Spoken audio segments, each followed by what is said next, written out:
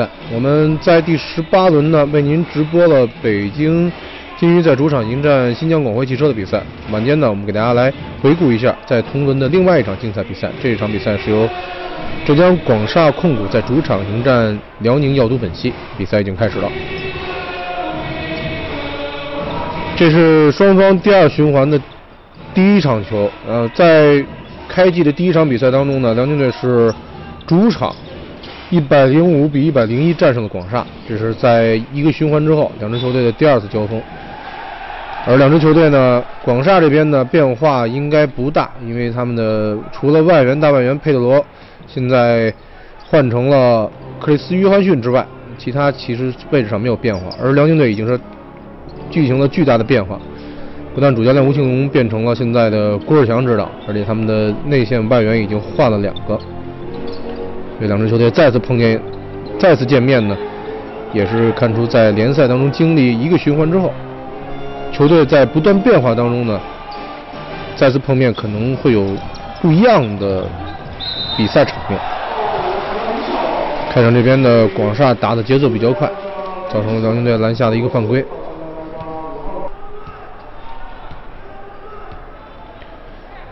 广厦今天的先发仍然是小外援吉布森，在外线是赵大鹏，今天是打一个双后卫，内线有王峥。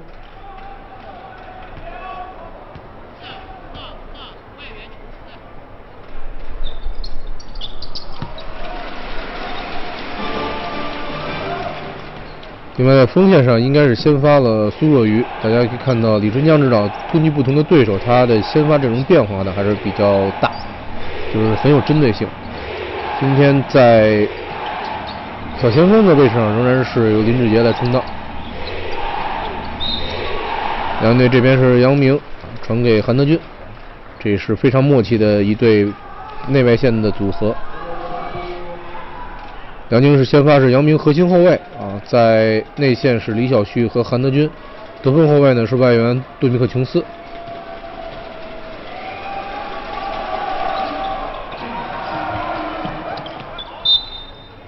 这球刘晓旭积极的拼抢一个前场篮板。辽宁队也是在变化当中换帅、换外援，这些都不太利于球队的稳定性，所以。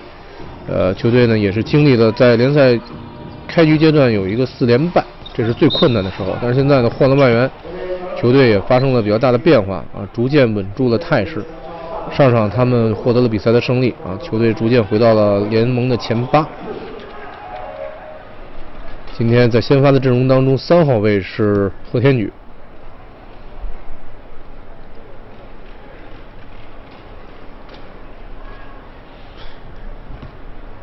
辽宁队要连续打三个客场，广厦是他们的第一个对手。而且大家知道，李春江指导虽然常年在南方执教，而且在东莞是待了十几年，但是实际上他呢也是辽宁籍的教练。两支球队有很多的千丝万缕的联系啊。上场辽宁是大胜八一，这样回到了联赛的前八的位置，球队逐渐找到了一个比较稳定的状态。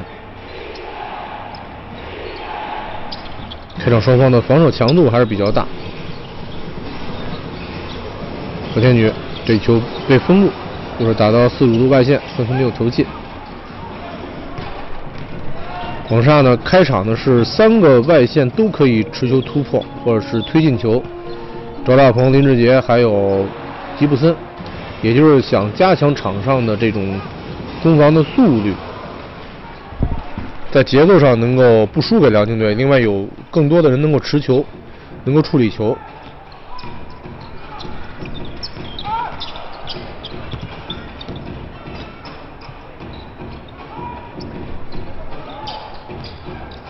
这是防挡拆，韩德君已经扩到了三分线外，球是打到内线，王铮这个球呢，抛投没有投进。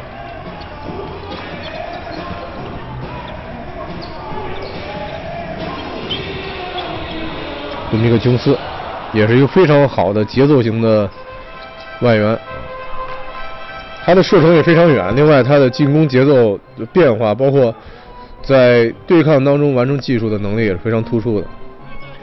两队开局打得不错，五投三中，六比二领先。广厦呢，现在除了罚篮，在运动战当中还没有得分。他现在整个的点呢，进攻的不是很明确。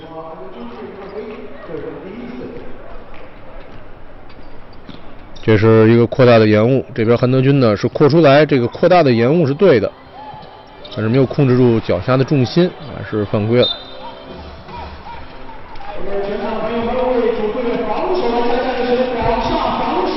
郭尔强也是一个比较讲究防守体系、防守要求的一个教练，他在此之前一直带着辽宁青年队，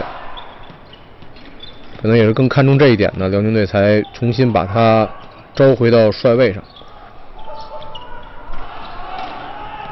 这球反跑非常漂亮，篮下有韩德君，韩德君的移动性要比王铮要更加出色一些。两个人的体重和对抗应该是势均力敌，但是在脚下移动性上，韩德君应该更快。林志杰出空位的机会，三分球命中。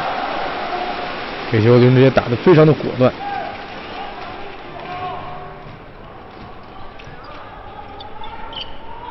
东莞啊，广厦呢是在主场输给了广东东莞银行，而且是一场大败。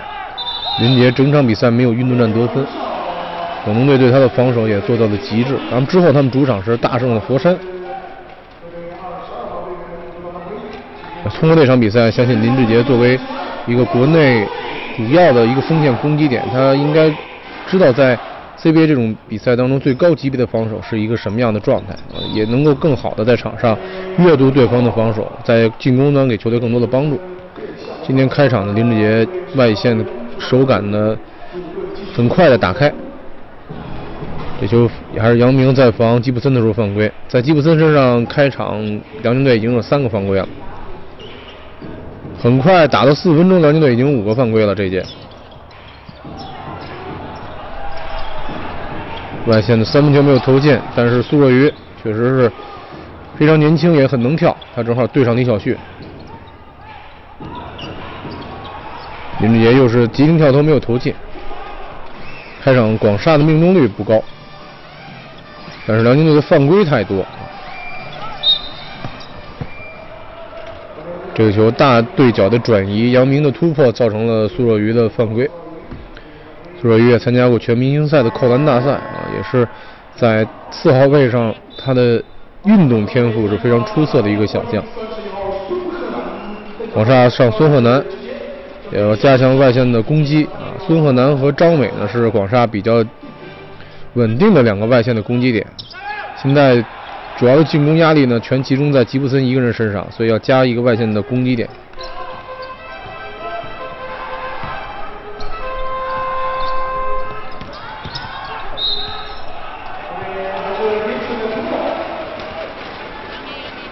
辽宁队对吉布森这点是严防死守，但是已经六个犯规了这一节，而且大部分都是犯在吉布森一个身上。这球确实是有犯规的动作，现在每个犯规都要罚篮。第一节才打了五分钟不到，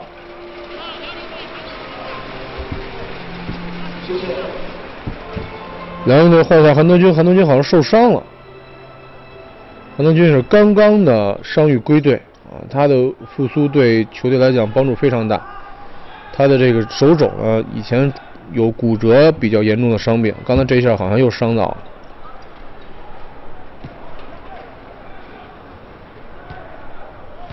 吉布森开场呢只有两分，但是他对辽宁队产生了巨大的杀伤啊。辽宁队在他身上已经犯了很多的这种犯规。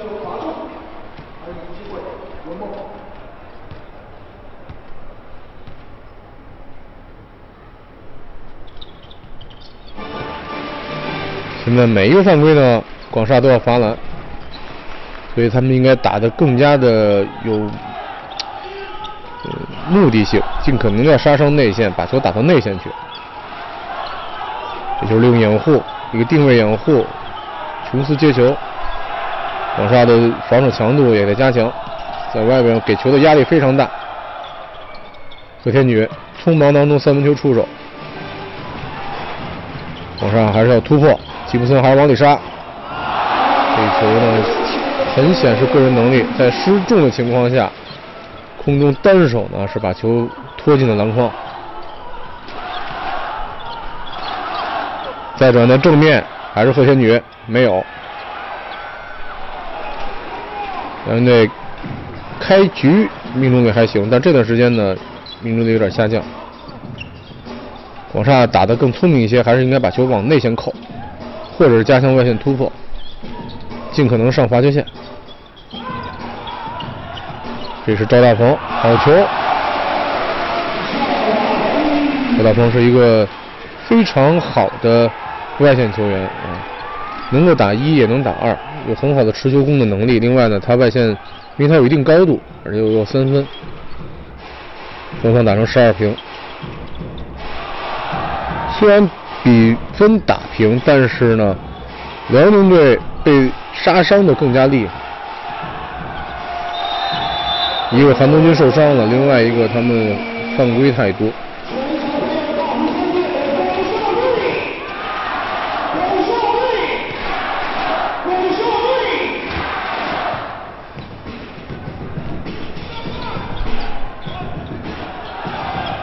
这边有吉布森的三分球没有投进。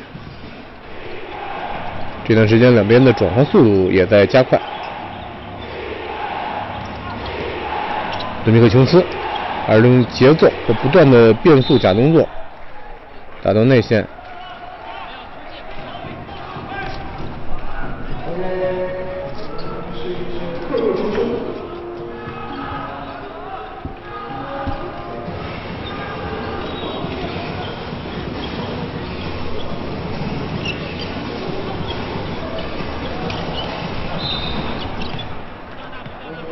大鹏防琼斯呢也是比较吃力，这些外援他们的这个脚下变速的能力确实快，而且起步的第一步的幅度大，速率快，确实很难防。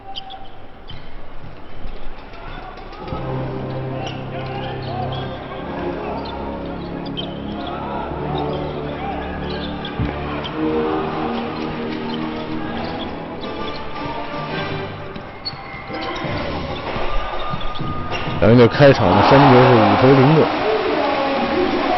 辽宁队应该是联赛当中传统来讲，他们是比较讲究三分球和外线进攻的一个球一个球队，但今天开场外线颗粒无收。又是赵大鹏，今天开局利用林志杰和吉布森的牵扯，吸引更多的夹击，然后他控卫的三分球命中。广厦已经把比分反超，而且领先了五分。杨明也是不断的变速突破遭犯规。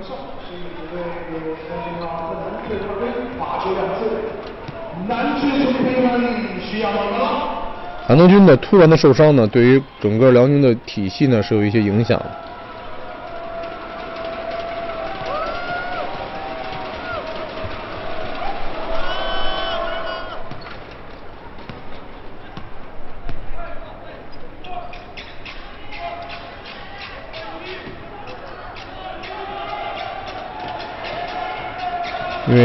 球队的比赛的赛季当中来换帅，一般是没有训练的时间啊。教练可以把更多的理念融入给球队，更多的是要靠比赛，在实战当中呢去灌输这种思想，解决问题。所以呢，这样的球队的教练跟在场上跟队员沟通的就更多一些。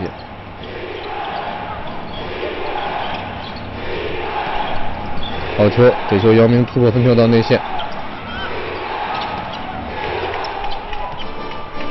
好，这边是辽宁队换了新外援哈基姆瓦里克。相信很多熟悉 NBA 的观众呢，包括熟悉 CBA 的观众应该非常的了解，也是当年 NBA 当中的一员猛将。双方是都是辽宁队是换了一个配备。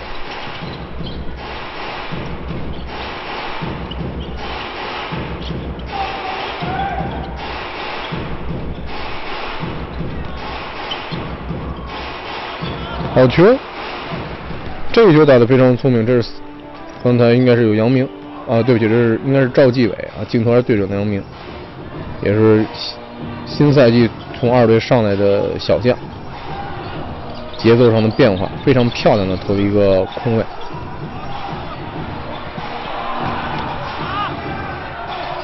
瓦里克身高两米零八，确实是在篮下能够协防一片。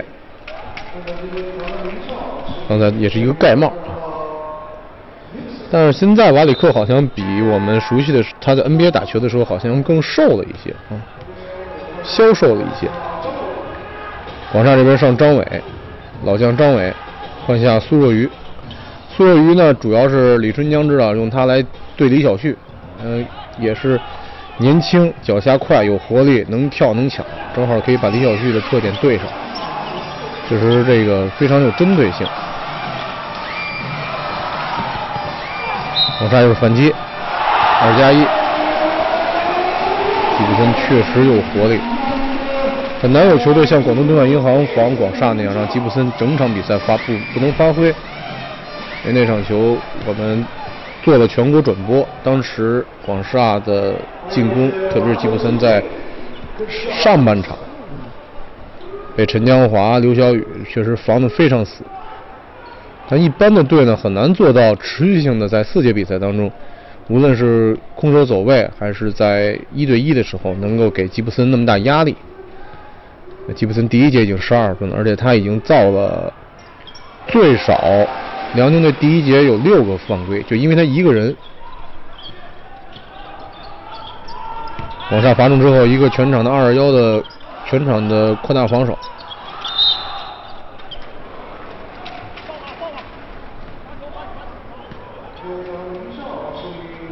辽宁队现在呢要把内线优势发挥出来，韩德君又重新回来，而且内线还有瓦里克，这两个人呢就是上一场辽宁队大胜八一的关键因素，一个有吨位有身高，一另外一个呢能蹦，这个配备确实让八一队呢非常内线非常吃紧。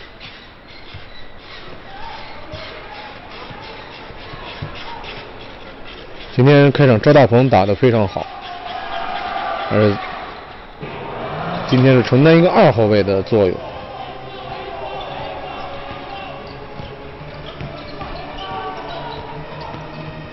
就是吉布森追身的三分球，没有投进。这是张永鹏上场之后呢补进，往上回来守一个联防。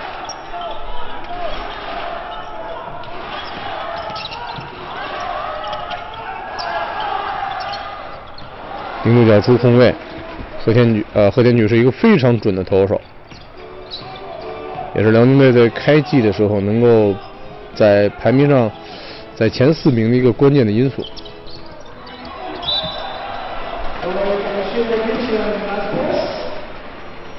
广厦打得非常聪明，他们在第一节开场应该不到五分钟四分多钟就已经造了辽宁队全队五次犯规。所以他们在整场第一节的比赛当中，都是更多的往内线杀。教练的指导思想也非常明确，没有机会还可以杀伤啊，可以罚篮。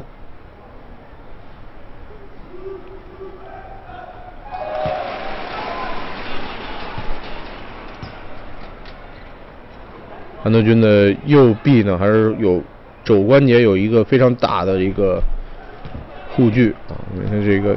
肘关节骨折，上个赛季也是因为受伤呢，影响到辽宁队的战绩。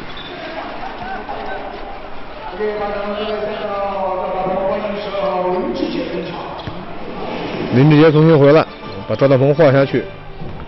广厦的人员轮转非常快啊，要保持场上的体能，因为这场球呢，广厦呢也是要从防守做起。但是这个两个连续的防守对。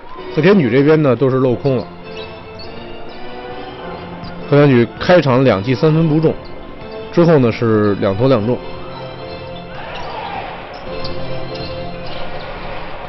外线林志杰，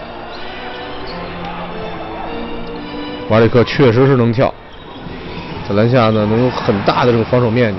这球贺天举想打一个巧的，但是失去了投篮节奏，被吉布森追身打了一个反击。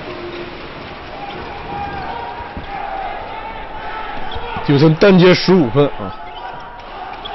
广今天辽宁对吉布森这一点防守没有针对性的布置，没有一个特殊的方法。如果这样的话，让广厦就打得非常舒服。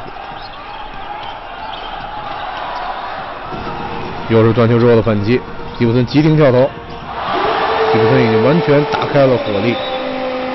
单节第一节十七分，六中九，对不起，九中六。呃，郭志强知道这边要变一变防守了。小将赵继伟上来之后，助攻还可以，进攻端还行，但是防守上确实是防不了吉布森，犯了很多相对可能比较低级的错误。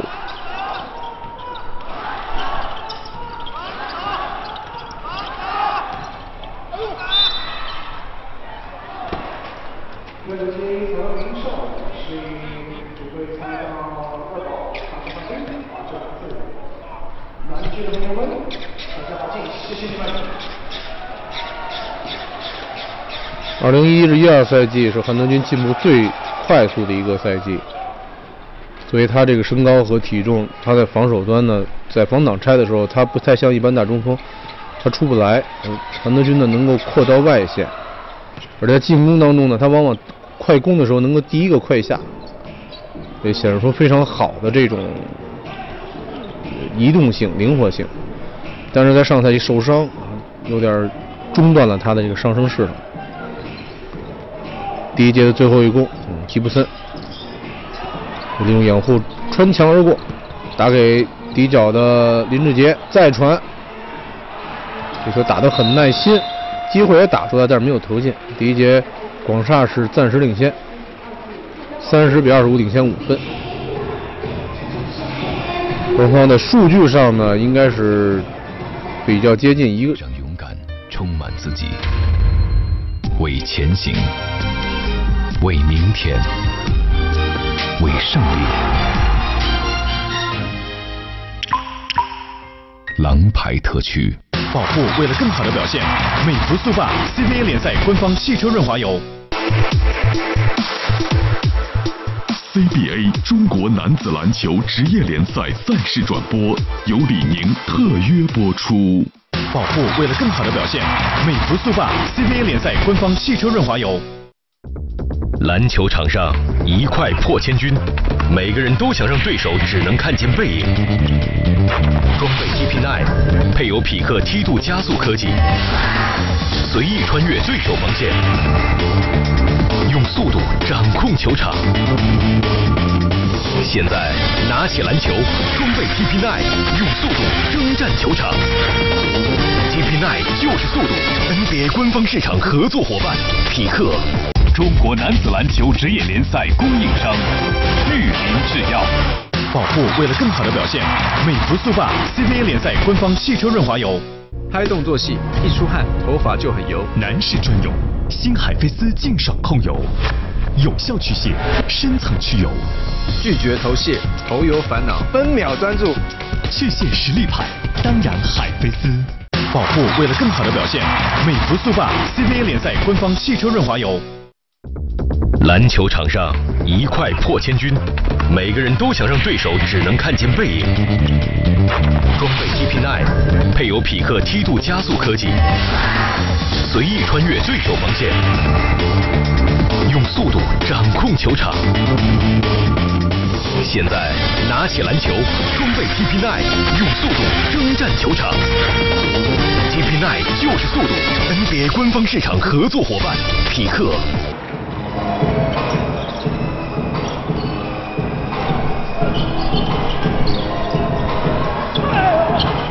我们来看看第二节比赛。在这比赛开始呢，广厦仍然是在进攻上显得成功率更高一些。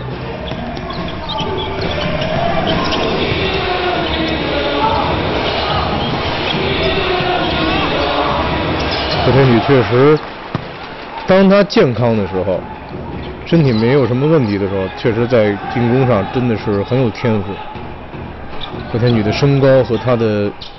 这个柔和的手感，很多国内教练也说贺天举真的是有一双非常柔和的手，球感很好，就是一般大个很难具备，外线有很有准。但是今天呢，辽宁就是防不住吉布森，这可能会给他们造成很大的麻烦，因为在防守端呢，任何教练都要去解决主要矛盾，我先要抓这个最难防的。如果你这一点做不好，那你确实很难赢球。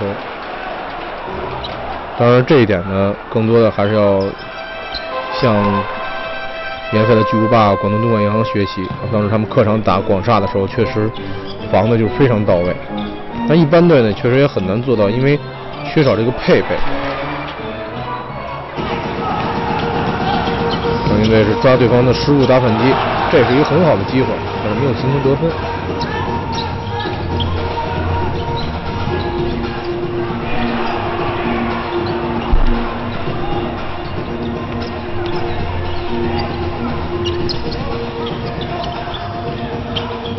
林杰突破，哎呦！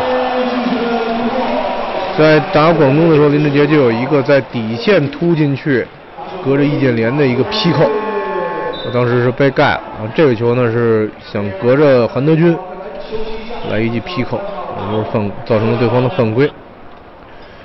辽宁的犯规呢确实很多啊，这也留下了很大的隐患。林俊杰今天开场的命中率也不高，六中一。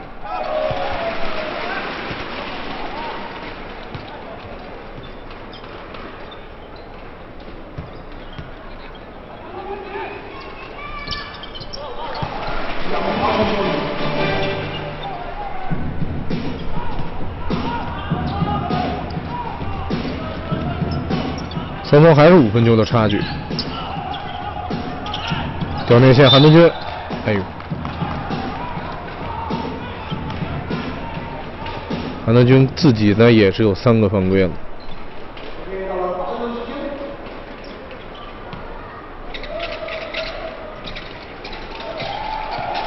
而且他这个手肘骨折呢，正好是投篮手，这个对一个球员来讲呢是比较麻烦。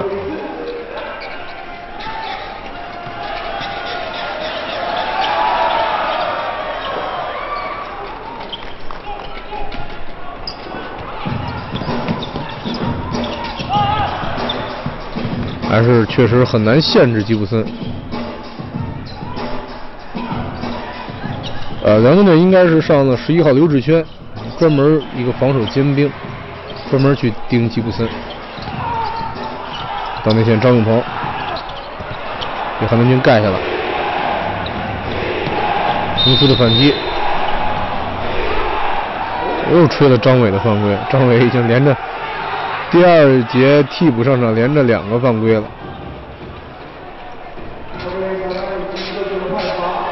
这一球上面没问题，脚下可能是绊了对方一下。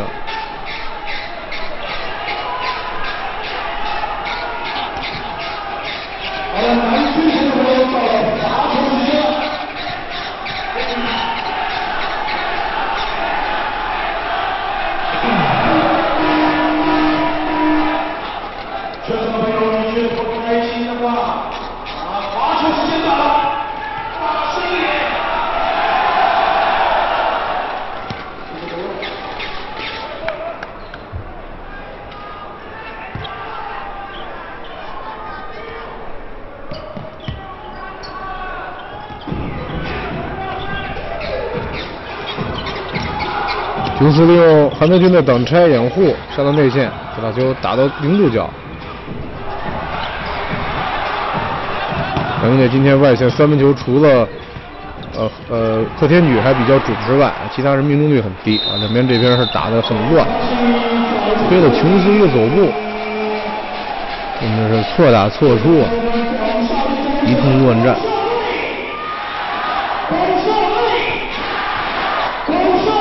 再看这球，韩德君去中锋抢断，这个球，严格意义上来讲确实是走步，先走后运，但是动作应该还确实是挺连贯。咱们就连续失误，客队呢打。客场就怕持续失误，失误呢，对方就容易打反击。往下是夹击琼斯，和田举出机会，没有投进。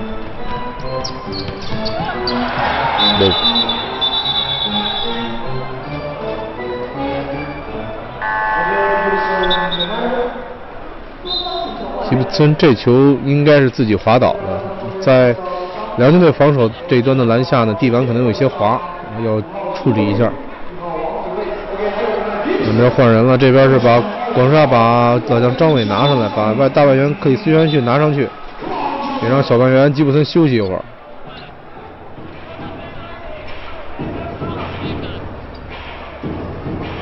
吉布森看来现在是辽宁队最难解决的一个点。但是呢，也不能让他打满全场，也是让他休息一会儿。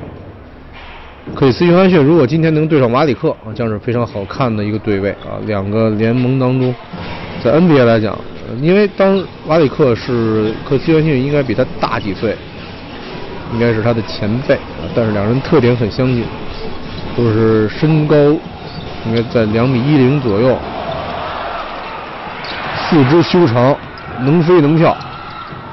呃，主攻进攻能力相对弱一些，两个人特点是非常接近。双方都是快速防反，节奏打得非常快。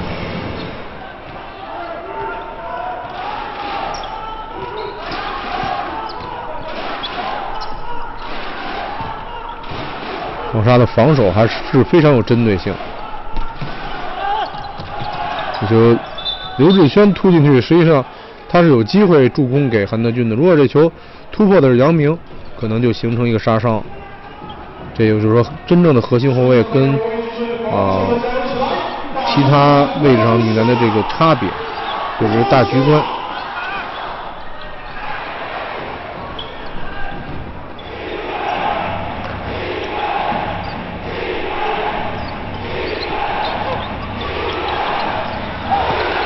这是多米克琼斯用这个迷踪步，速率不快，反手假动作，老沙快速反击，对方打进了之后追身打一个反击。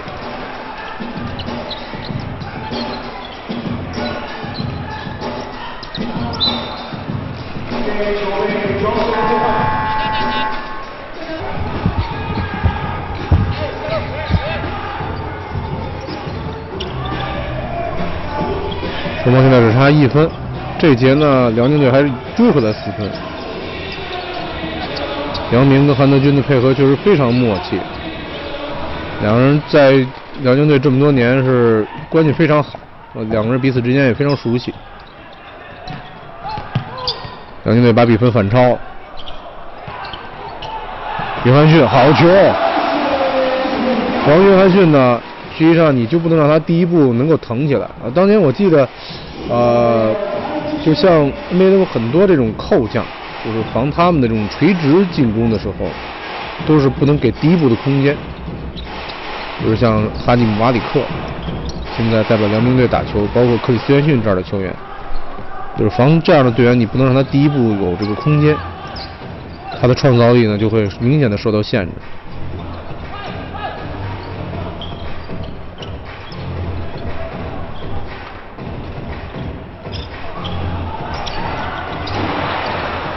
外线还是不开，姚明两个胯下运球，一个变速，再突破造犯规。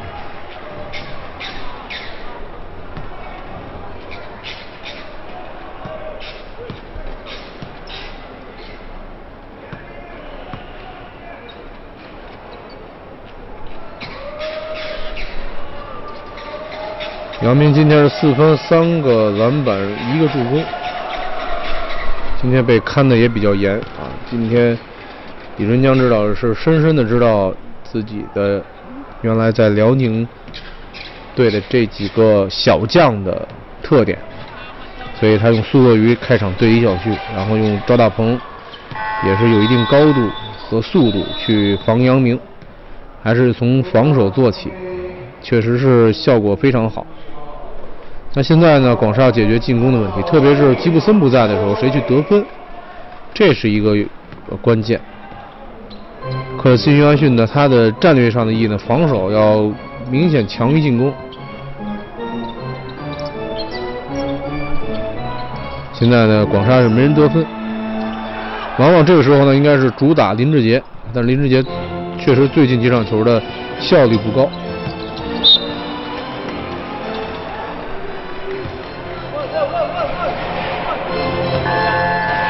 广厦上了小将王子睿，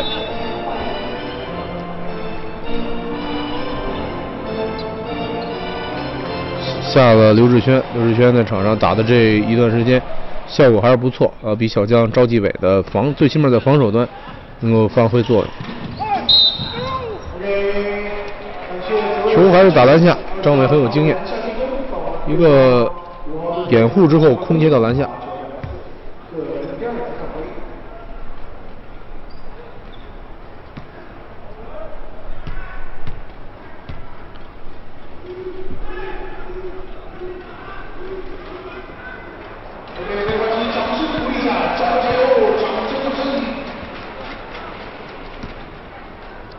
张伟是这支广厦队最有经验的球员。嗯，在前几个赛季呢，广厦有王博和张伟两个老将助阵啊，但是王博这个赛季已经变成了广厦的助教，所以场上应该是实战经验最丰富的就是张伟。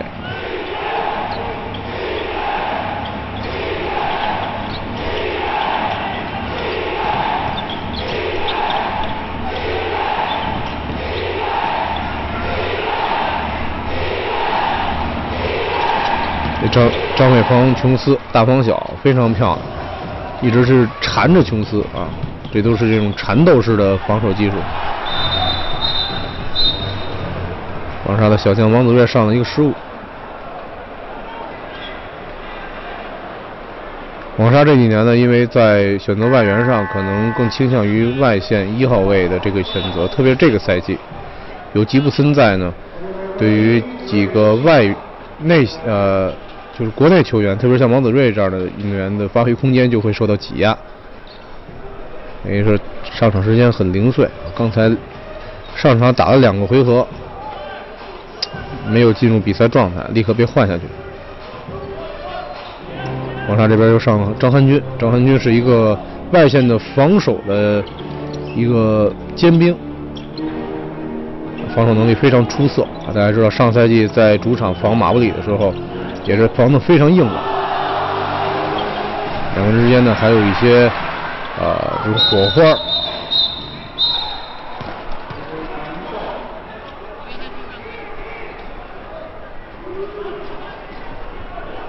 这个球应该是两分无效，看看是怎么判的，还是应该是吹了广厦犯规。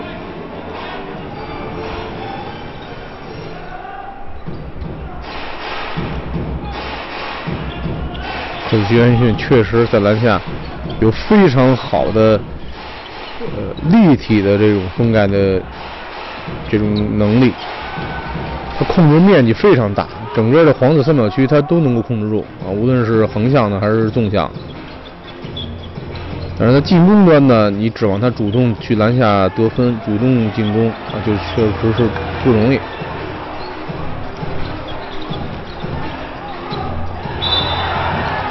这球呢，吹了辽宁队防守犯规。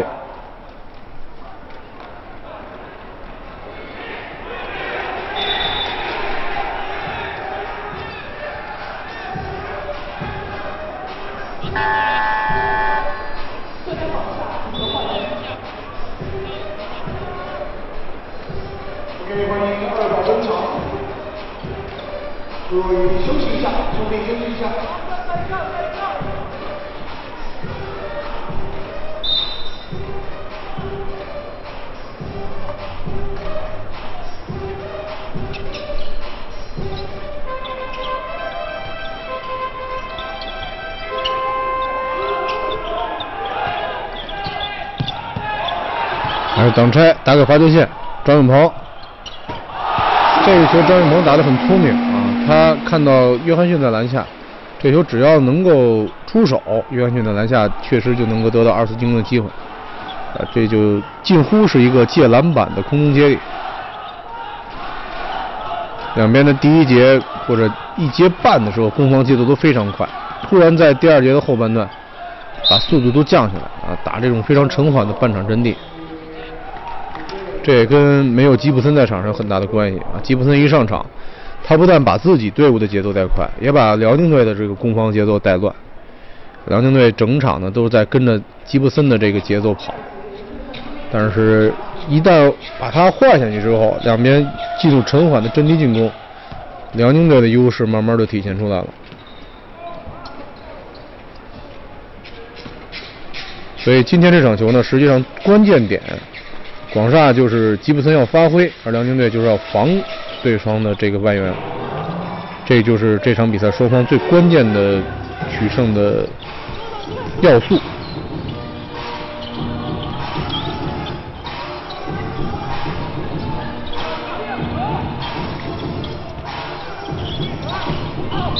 张汉军突破还是造杀伤。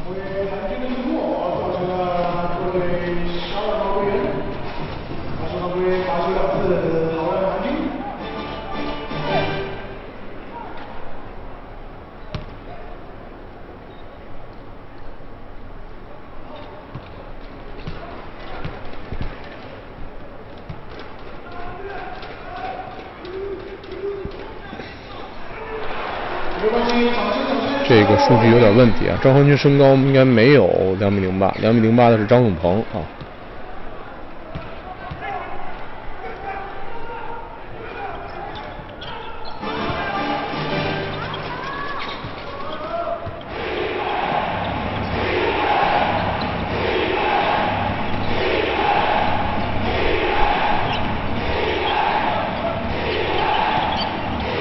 李晓旭。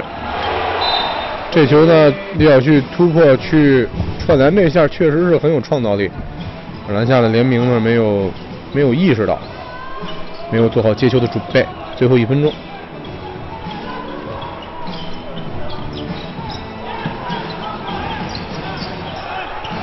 还是张伟，确实有这种百步穿杨的能力，利用两个定位掩护溜到底角，张手命中。在打广东的那场比赛当中，全队没有这个得分点的时候，张伟是临危受命，上去连中四个三分，还稳住了一些局势。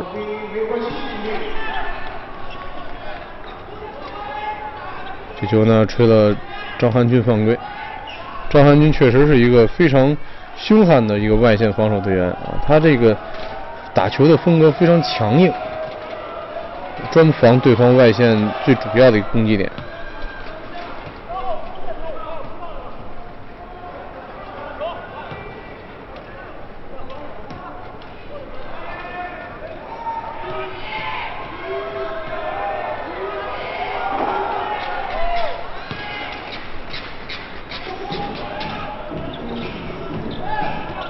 广厦应该还会给辽宁队留下一次进攻的机会。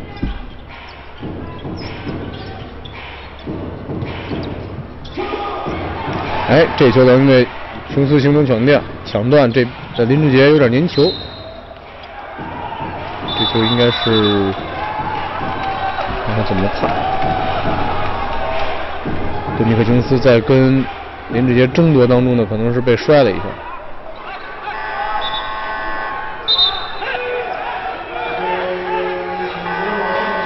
这球是被掰到了一下膝盖，应该没有大碍。而辽宁队的前场球想偷一个篮下，这球传到了韩德君的膝关节这位置，没法接。还有最后一攻的机会，六秒、五秒、四秒，琼斯跑投没有投进。上半场比赛结束，辽宁队在客场是四十八比四十七领先一分。我们一会儿来看看双方的下半场比赛。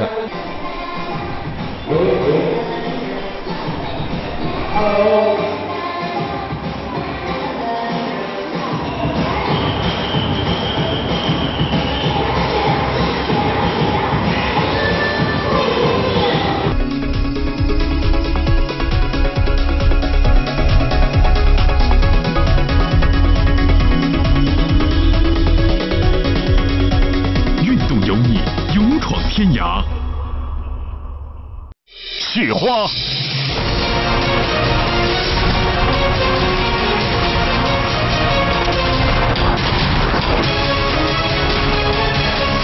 雪花勇闯天涯。保护为了更好的表现，美孚速霸 CBA 联赛官方汽车润滑油。篮球场上一块破千军，每个人都想让对手只能看见背影。装备 TP9 配有匹克梯度加速科技，随意穿越对手防线，用速度掌控球场。现在拿起篮球，装备 TP9，用速度征战球场。TP9 就是速度，NBA 官方市场合作伙伴匹克。中国男子篮球职业联赛供应商玉林制药。保护为了更好的表现，美孚速霸 CBA 联赛官方汽车润滑油。拍动作戏，一出汗头发就很油。男士专用，新海飞丝净爽控油，有效去屑，深层去油，拒绝头屑，头油烦恼，分秒专注。去屑实力派，当然海飞丝。保护为了更好的表现，美孚速霸 CBA 联赛官方汽车润滑油。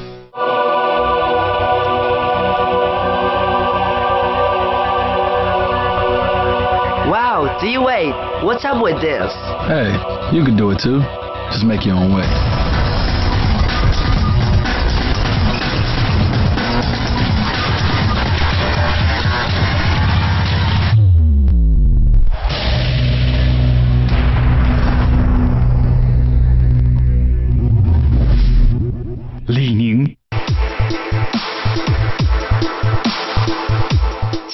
啤酒敞开新世界，全力呈现体育精彩赛事。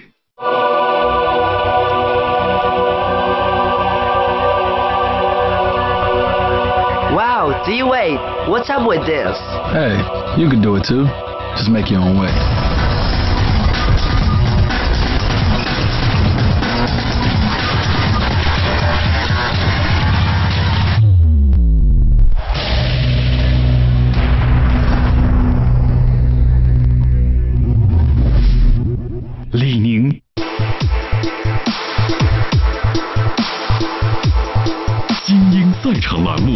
目由蓝牌特区独家冠名播出。让勇敢充满自己，为前行，为明天，为胜利。狼牌特区。There was a time I used to look into my father's eyes.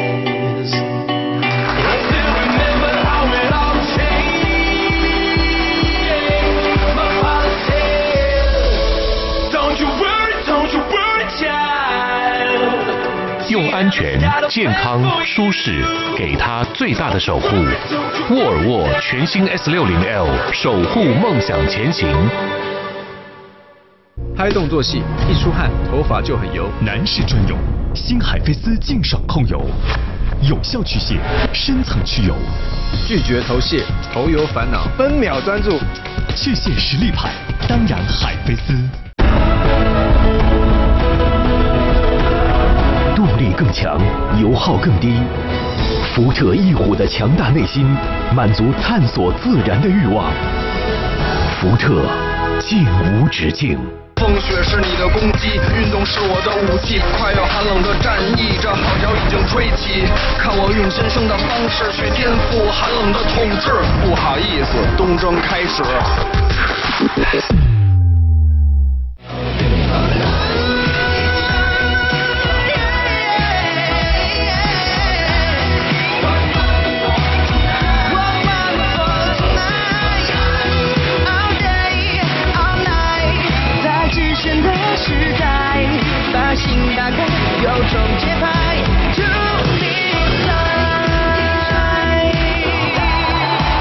Yaris L 致炫，十二月二十四日炫亮上市。广汽 Toyota。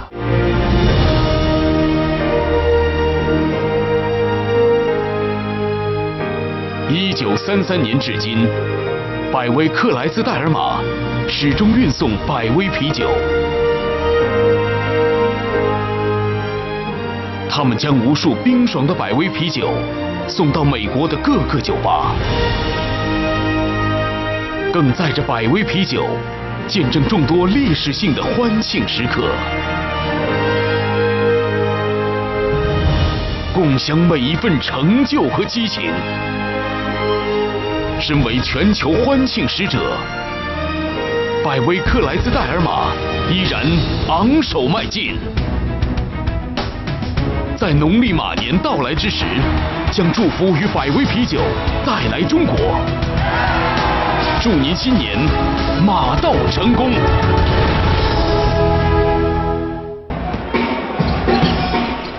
好了，观众朋友们，我们继续为您转播 CBA 联赛常规赛第十八轮，由浙江广厦酷控在主场迎战辽辽宁药都本溪的双方第三节。双方呢在下半场呢一上来，啊，两边的阵容应该都是双外援。我们终于可以看到克里斯约翰逊对哈基姆瓦里克两个这个所谓肌肉人啊，弹簧人的对决了。上来两个人就是一次面对面的对撞，约翰逊一个双臂的封盖，直接把球打出了底线。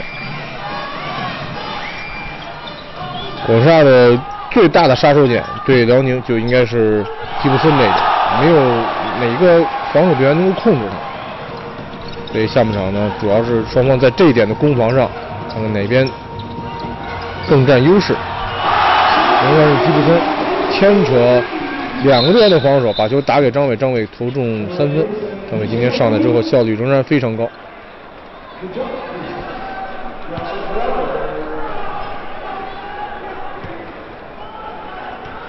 全场朋友们，跟着阿亮一起为主队防守加油起来！广厦，广厦，广厦，广厦！还有瓦瓦里克来攻。好球！瓦里克这球利用一个假动作急停跳投。瓦里克今年三十一岁啊，身高也是有将近两米零八，在 NBA 多支球队效力过。当时应该打的最大家记忆最深刻，应该是在孟菲斯灰熊队。职业生涯场均数据九点三分四个板。他上一场呢是首秀迎战八一队，虽然全场比赛他跟队友不是很熟悉，也有六个失误。但是他拿下二十分十个篮板，这对球队的帮助还是非常大。辽宁队本赛季呢，在大本营的位置上，首先是选了上个赛季在青岛跟麦迪一块打的丹尼尔斯，但是丹尼尔斯的球风跟辽宁队并不配合，而且他是那种假内线，就是把要拉出来投三分那种队员。本身辽宁队外线呢，他就有很多的这种类型的国内球员，所以是太重叠。之后呢，换了麦克林，麦克林呢打了七场，但是麦克林的个人攻击能力在内线确实一般啊，一场球就十二三分，跟其他球队的大外援呢差距比较大，所以呢是用了第二次换人的名额换来了瓦里克，而且呢在四连败期间呢也是换了教练啊，辽宁队把能干的、主动变化的这些手段呢都是用到了一个满额。所以联赛呢，第二循环应该不会有太大变化。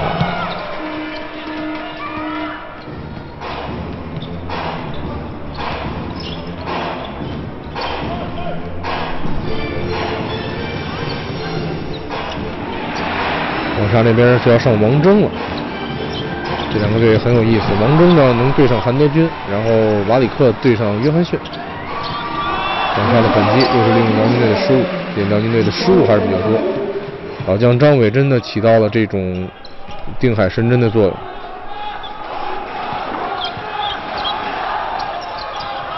辽宁队外线又是一个比较简单的三分球出手啊，杨明这个球打的有点太着急了。防守的时候，呃，瓦里克是对约翰逊犯规，篮板球是二十七对二十三，浙江广厦应该还是占优。这样，王铮对上韩德君啊，克里斯约翰逊对上哈基姆瓦里克啊，这比赛很有意思。两边在内线真的是能够比较完美对位，这在联赛当中是不多见。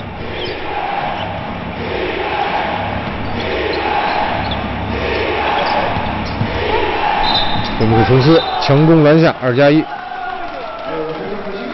这球又是防琼斯的人呢。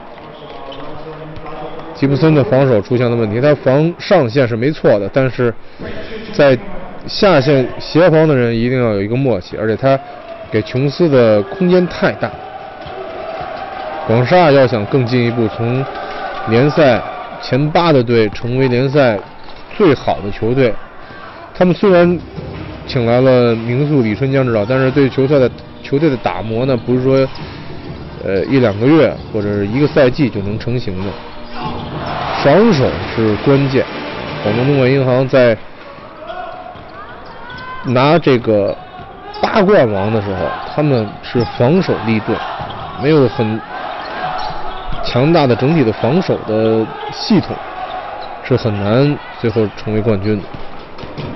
我的防守呢，不单是每个人的单兵防守能力，还要强调运动员的防守习惯和防守意识。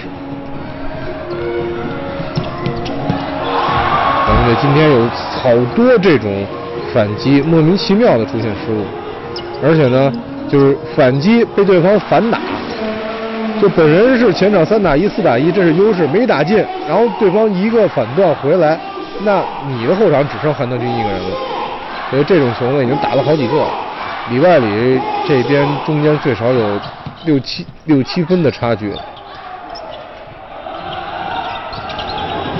现在咱们这进攻打得比较乱，大家扎堆啊，彼此之间没有很好的呼应。就是姚明的断球，跟这个琼斯强攻篮下，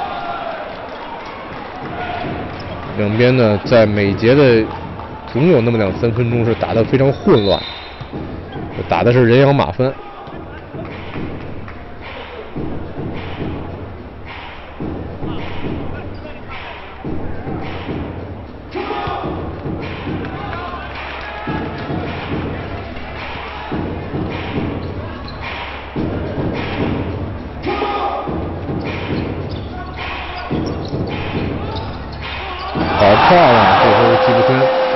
快速推进去，也是一个非常简单的掩护，做到篮下一个空中接力。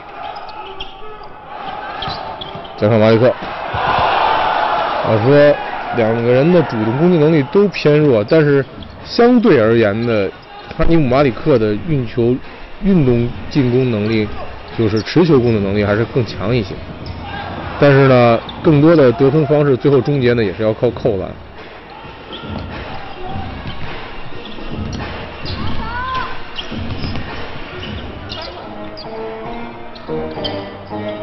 又是球到巴里克手里，这球没有硬打，遭吉布森犯规。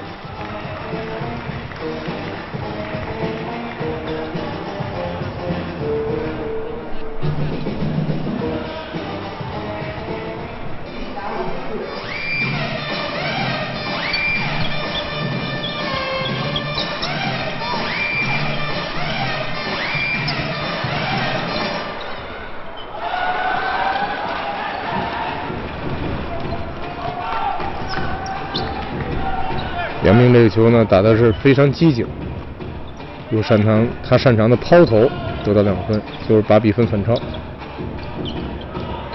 林志杰在这段时间，林志杰的攻击效率确实是下降的比较明显。我觉得他可能是跟比赛过多有一定的关系，因为这个夏天啊，打了这么多的亚锦赛啊，各种比赛，运动员在拼到十二月底的时候，这一年。确实是在精力上和体力上是很难跟得住，这可能也是跟比赛过多有关系。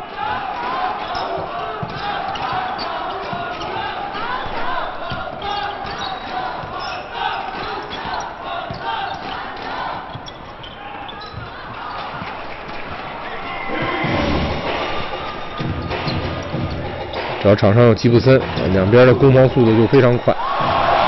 来看到这球呢，吉布森完全没等队友的跟上，一个人打三个就打了。吉布森第一节就拿了十七分，但是从第一节到现在呢，只拿了十分。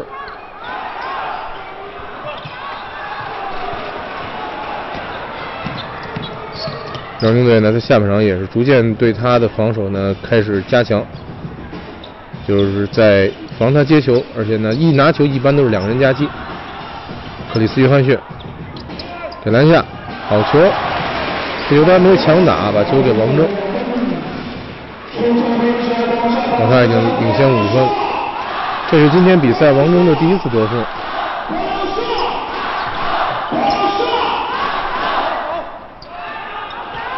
球还是掉在低位，而韩德君做出了一打一，进攻犯规。刚才说的两边呢都有很完美的对位，韩德君对王铮都能对上，能防住。韩德君的犯规应该是犯满了，韩德君很早就三个犯规了，这样呢应该是六犯离场。这样在内线，辽宁队就比较吃紧了。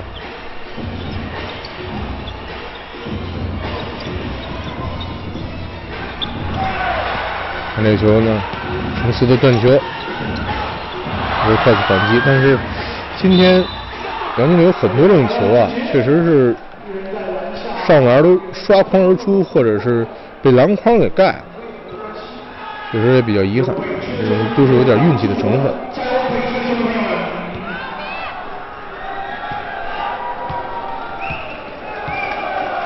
林志杰呢，也是确实比到年底的时候有点疲惫了，应该让他更多的去调整一下，否则这么打下去呢，运动员也容易受伤。因为一个赛季打下来，而且林志杰在广厦呢是干了全能战士应该干的所有的任务，防守、进攻、组织、得分。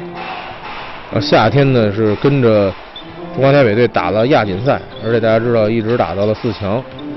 这每一场比赛基本打满，从陈兴安手里接过中华台北队核心的这个大旗之后，林志杰就是没休息，然后呢又跟着中华台北队一起去天津打的东亚运动会，你想想这有多少比赛，而且基本上场场打满，然后回来跟广厦一起季前赛，然后打联赛，这一年下来全年无休，所以。手感下降，攻击效率下降呢，也是很正常的。但是广厦呢，确实是离不开林志杰啊，这是他们在内外线衔接上的一个轴，一个大轴。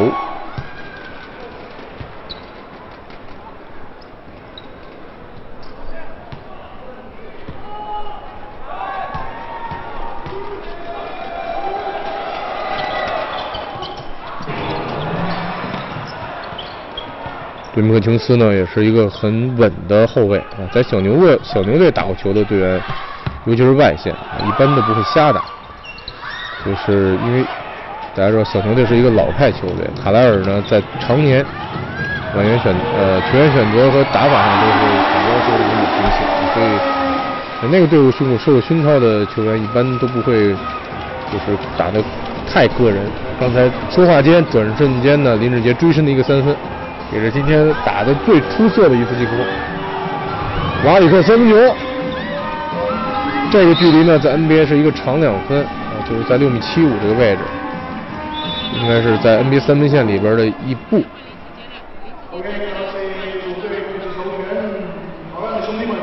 周大鹏呢，今天体能透支，他的防守压力非常大，防琼斯主要是他来负责。辽宁队也是上刘志轩，还是要在防守上要限制吉布森。但是这个球呢也没有防住。吉布森二十九分，第一节十七分，第二节打了半节没得分，第三节呢前半节也没得分，然后之后呢是连得十二分。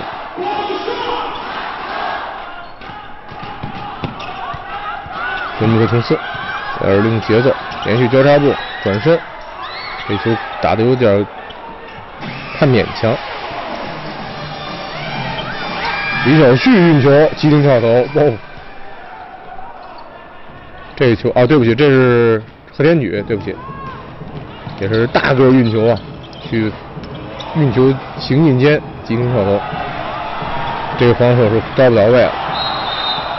克里斯·约翰逊在瓦里克的头上摘掉篮板。克里斯·约翰逊应该比瓦里克应该最少要年轻四到五岁，拳怕少壮，两个人都很能跳，但是年轻一些的在目前更能跳。最后一攻，广厦来控制，由吉布森幺四拉开，刘志轩来对位防守吉布森，而要一个掩护，穿墙而过，对，非常漂亮的一个配合。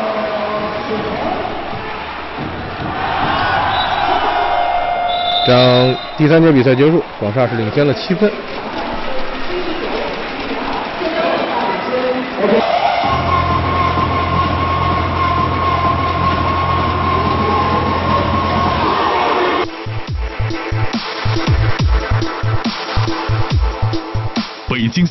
携手 CCTV 五，为您带来顶级赛事转播。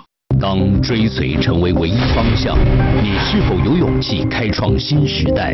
在所有人追逐目标时，停下来享受。Mistral 名图、明智、途远，北京现代。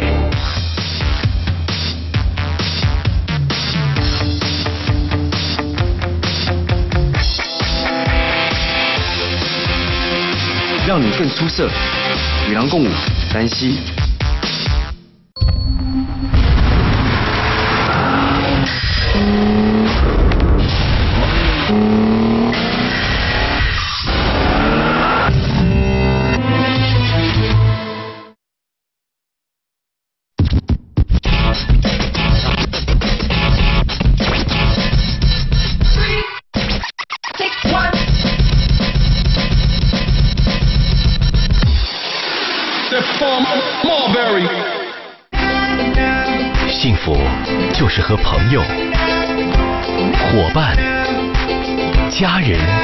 起。五菱宏光 S，在一起的幸福。全国两千家展厅欢迎您。喜力啤酒敞开新世界，全力呈现体育精彩赛事。先容得下所有，也放得下一切。加长版礼宾座驾，天籁公爵长驱驾临。东风日产。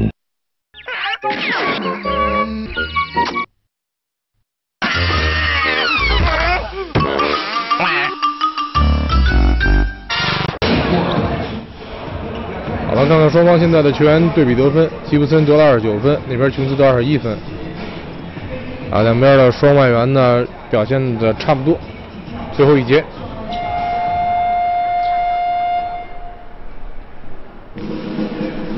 关键要素还是吉布森这一点，辽宁怎么防，而广厦怎么让他的火力全开，这是这场比赛的关键啊，就看这一节了。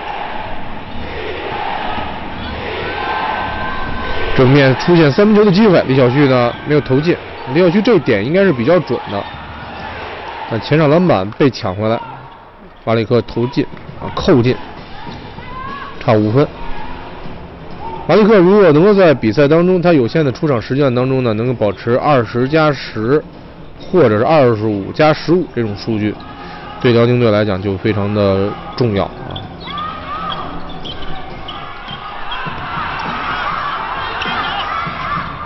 因为呃，韩德君是五六判被罚下场，所以现在只能用李晓旭去防王铮。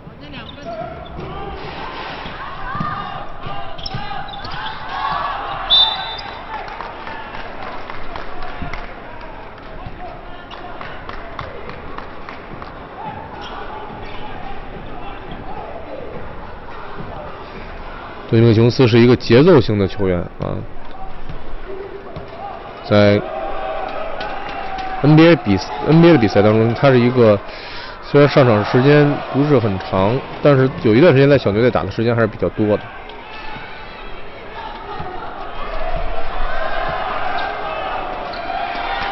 瓦里克的罚篮呢，第一罚没有罚中。现在差了四分，双方进入决战状态。又是张伟，张伟是进入到十二月份啊，就是新年之前这个月确实准，而且不丢，基本上啊，今天是五中三。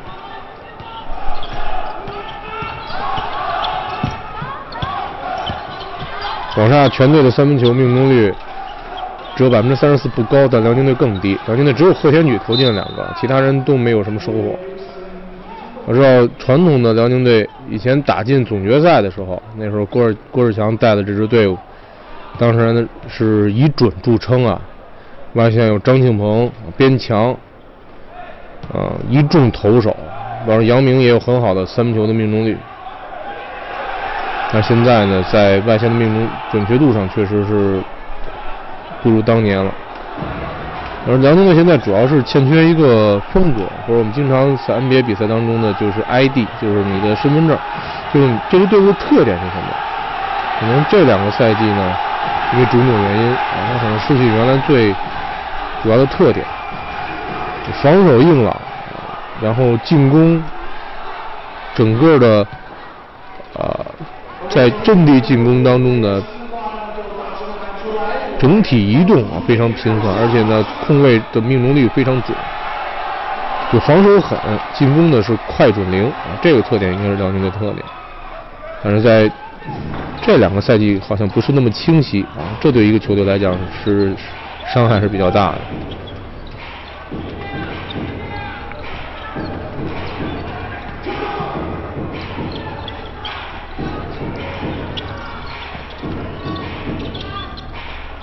还是一打一拉开，由吉布森去打刘志轩，这个呢确实是很难防。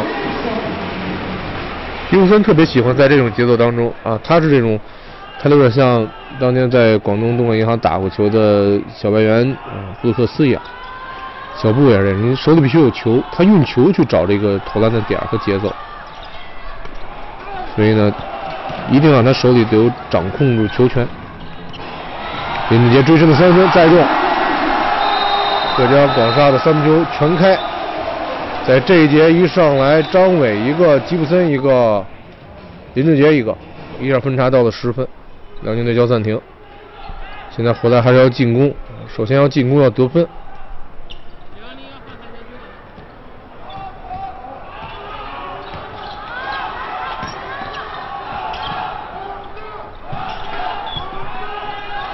看看瓦里克，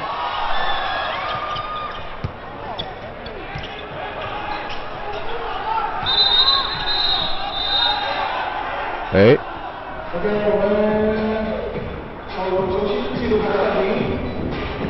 这是一个技术台暂停，技术代表跟主裁判进行一个交流。韩德君呢，应该还是没被罚下，因为刚才在现场的数据呢也没有清晰的给出来。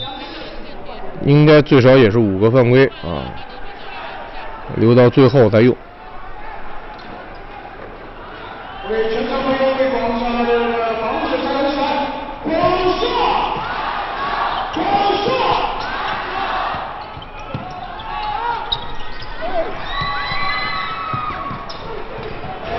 多米克琼斯自投自抢，这攻方节奏呢，到了第四节确实是。越来越慢啊，这是一个失误。辽宁队现在进攻遇到的问题就是琼斯这点不开，其他点呢也没有什么贡献。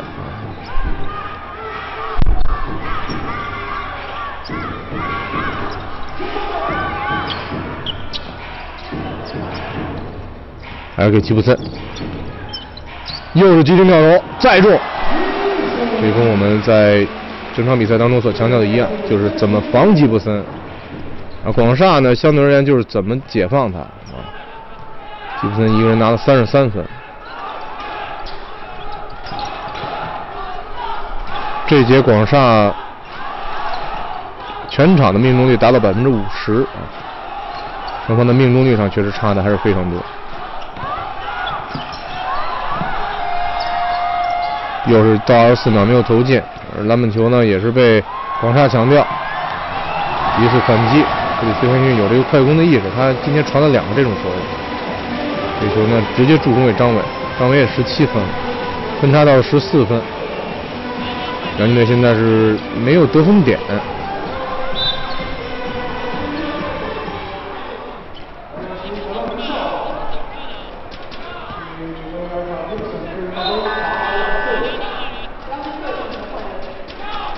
辽宁队还是要换刘志轩上来。现在呢，辽宁队就是比较纠结，到底是解决进攻的问题还是防守的问题。现在琼斯这边呢是攻攻不进，而防守呢他又防不住，呃，在防守端又防不住吉布森啊，两边呢都比较被动，干脆呢，郭士强指导是单外援，把琼斯拿下来，换上刘志轩。既然攻守两端都不行，那我就顾一边，我就要防守。啊，刘世轩去死防吉布森，进攻呢，别的队员去分担。这也是看出这个教练员他在场上的这种应变，还是非常果断。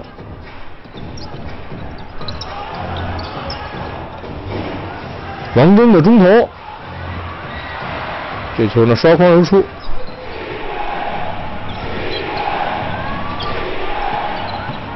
再看追身，杨明也没有投进啊，确实是没有人得分啊。现在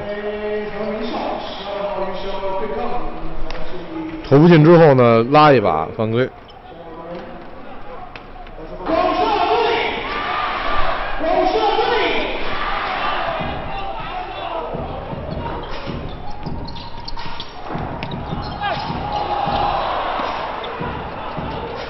辽宁队注重反击的机会了，阵地进攻打不开，看反击能不能下分。这前场二打一，结果没有形成得分，而让广厦队员呢退回来了。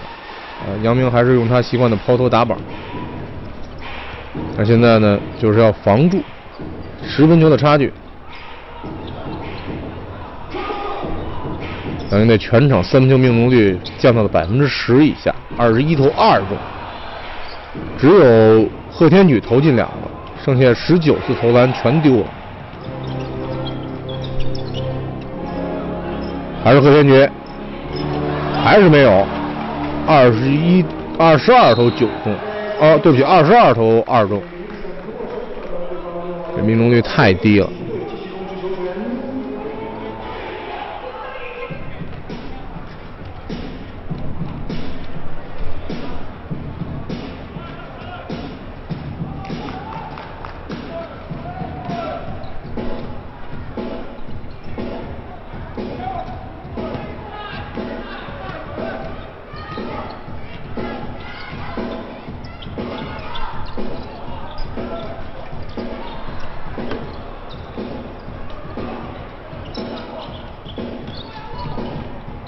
还是王铮的掩护，吉布森突破。如果你底线轮转夹击呢，我把球传给篮下的约翰逊，约翰逊可以扣。如果没有人上来轮转呢，自己上篮或者抛投。这一下让辽宁的防守呢，确实是没有什么办法。而且一直上王铮呢，他的身体的这个体积和。快投呢，在掩护方面也给吉布森很高的这种掩护的质量。辽宁队这这一场比赛确实有的到了下半场，突然失去了得分的办法。到现在只得八十一分。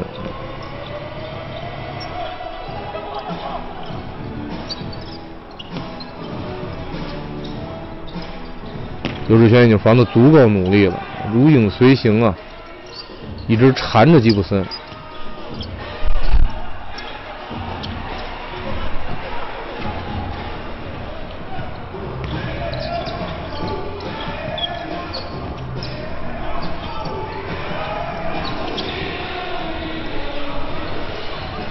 就交给巴里克中距离跳投没有，这不是巴里克的特点啊，他也能攻一下，但是这不是他的常规的进攻的手段。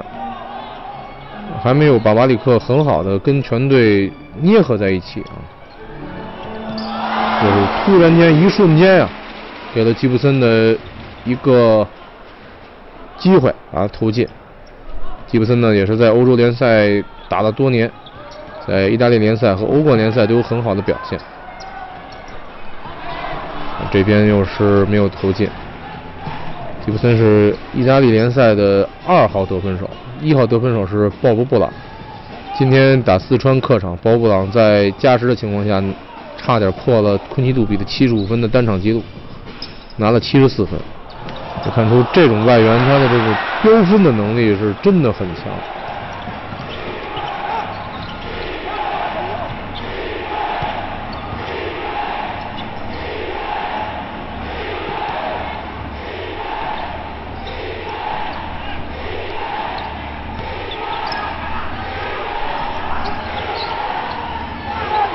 这球瓦雷克特篮下，一打一打克里斯汀还是比较费劲。这要暴扣，这样比赛呢，整个的势头完全是被广厦控制在手里。广厦的分差是越拉越开。今天辽宁队外线确实是太差了，二十三投二中。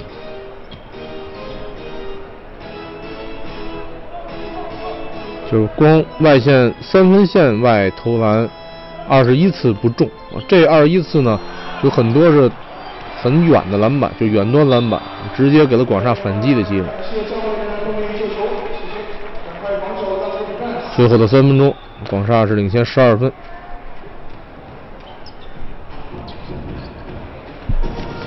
广厦是排名第九，辽宁排名第七，但是两支球队实际上胜率一样，只不过是在。互相互的之间的战绩当中呢，辽宁队因为是开机第一场是主场战胜了广厦，所以他排在前面。这场比赛如果广厦赢了辽宁，广厦就翻到了前八，这应该是可以最少可以排在第七位。而且今天福建也是输了球，所以现在呢，在这个六到十二名这个区间呢，只差一场。而且这种球队之间的交锋呢，一场当两场啊，实际上都是季后赛最潜在的争夺者。贺天举再投，终于进了，二十四投三中。贺天举投进三个三分，其他队友呢，所有出手都没有投进。两分半，还是差十一分的差距。广厦呢，可以每个回合打满二十四秒，这个优势还是非常的明显。这个回合如果打进，而且比赛打进两分钟啊，辽宁队就基本上是很难有机会。看看这个防守，还是给王铮造犯规，这样就很被动了。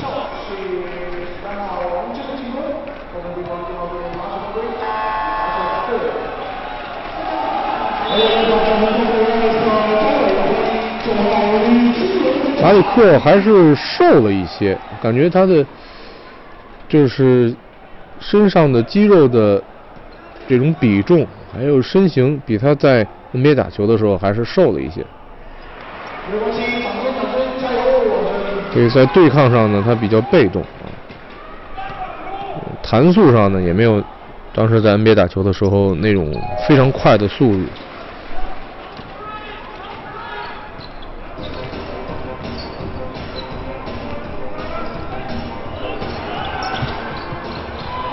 嗯，这是瓦里克的特点，幸亏篮下还有王铮，战斧式劈扣。瓦里克也是当年参加过扣篮大赛的常人啊。NBA 当中有两年的扣篮大赛都是大个儿去比，大家知道像哈吉姆·马里克啊、鸟人克里斯·安德森，呃，这种大个三号位、四号位去参加这扣篮大赛。然后最经典的是德雷德·霍华德，超人暴扣。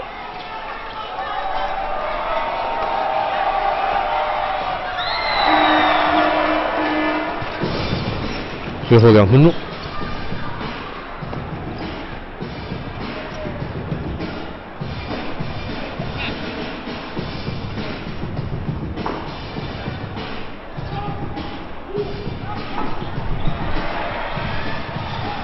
个反击，哎呀，今天有很多这种球，就是实际上是辽宁反击多打少，当然打不中，而且没有很好的三线快攻的这种分散，然后对方呢一个防三个防下来，反过来打辽宁队就是多打少，而且韩德君在篮下一个人防仨啊，防不了。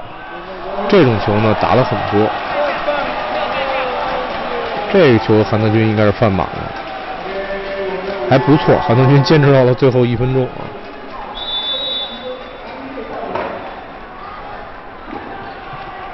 呃，辽宁队的整体人员配备还是不错的，他们需要一个呃更好的捏合。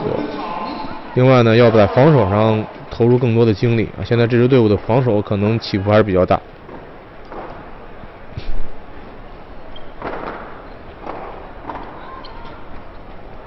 这样这场比赛应该悬念就不是很大了。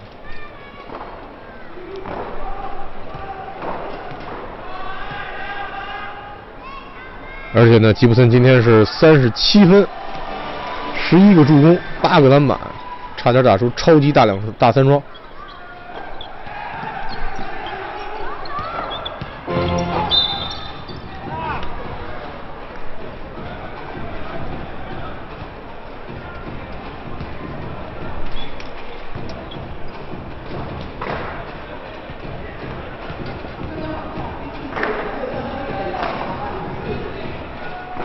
琼斯呢是这种体系球员啊，经常说的 team player，他不是这种砍分的大杀器，所以对他的使用呢，也应该是要符合球队的特点。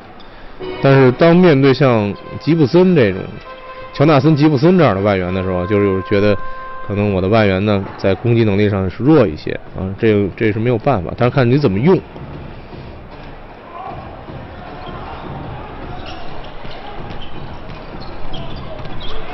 又是吉布森，再中三分，确实是节奏极快啊，闪电速度，三十四分，呃，三十三分罚篮三十四，三十七分了应该是。这场比赛辽宁队就是没有防住吉布森，而且在小外援的对位上，他们在得分能力上比较吃亏。一场球呢，在客场得八十多分，九十分啊，确实要想赢球是几乎是没有机会。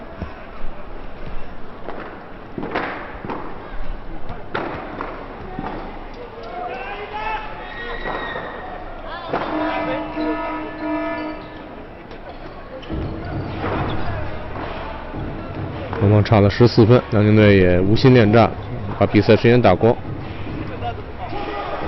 还有各有一次进攻机会。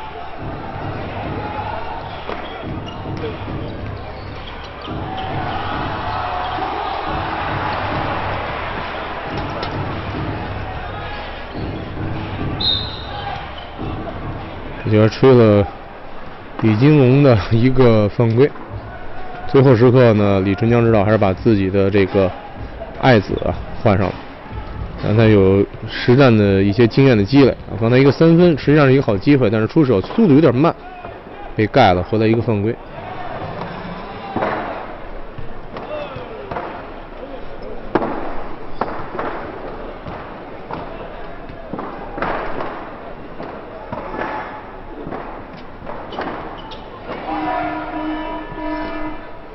好，应该是全场比赛大局已定。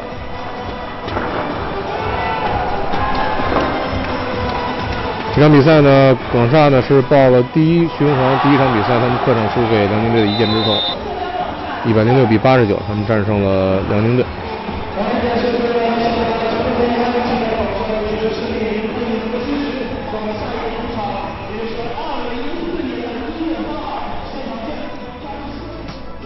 来看看本轮对阵，本轮结束的比赛啊，福建是主场大平输给了上海，四川和东莞马可波罗打了。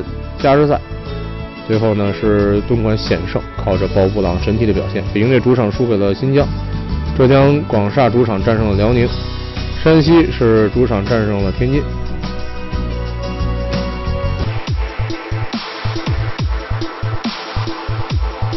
精英赛场栏目由蓝牌特区独家冠名播出。